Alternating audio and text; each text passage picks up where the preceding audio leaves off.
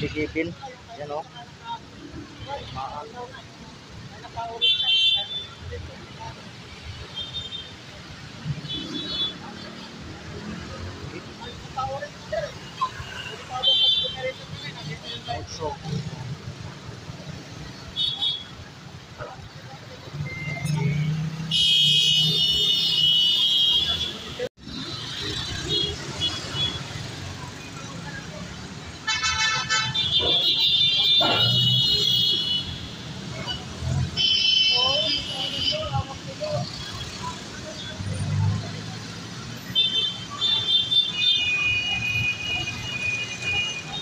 Ah, kaya uminto si Kevin kasi ah, ano kasi naka top light na.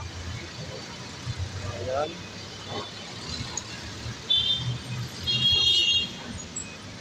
So, nag-usap sila guys. Naman sa oh.